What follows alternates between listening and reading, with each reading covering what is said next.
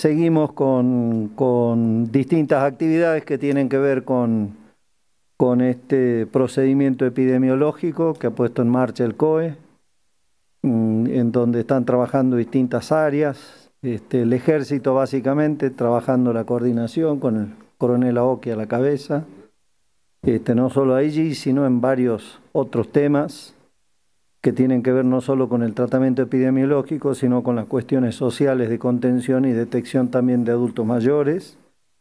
Eh, estuvimos acompañándolos, ha habido recorrida bueno, en distintos lugares. Eh, eh, paralelamente se está trabajando en Capital, San Pedro y Perico, así es, ministro. así que esta mañana pude, pude acompañarlos a todos los trabajadores de, en terreno en barrio San José, en San Pedro. Eh, realmente está muy bueno el trabajo que están haciendo en todos los barrios. Eh, allí en barrio San José realmente un relevamiento y detección de, de casos, no de personas que tienen síntomas. Eh, así que bueno, allí estuvimos con el intendente de San Pedro también, Julio Bravo, estuvimos también con el intendente de La Esperanza, eh, visitando, hablando con vecinos este, en los distintos puestos de, de, control epidemiológico que, ha montado todo un personal que está haciendo un gran trabajo.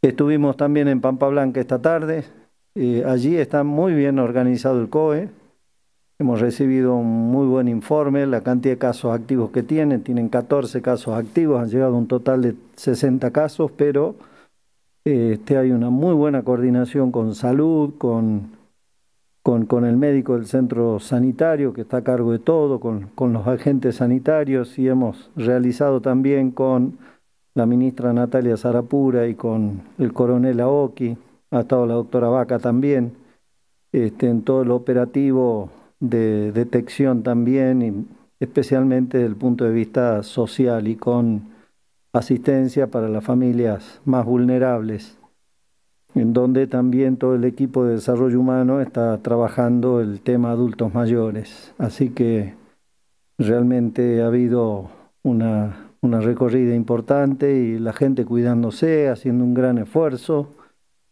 Así que dejarles nuestro saludo. También aguas calientes, les, les dejo mi saludo. En los próximos días me voy a dar una vuelta por allí.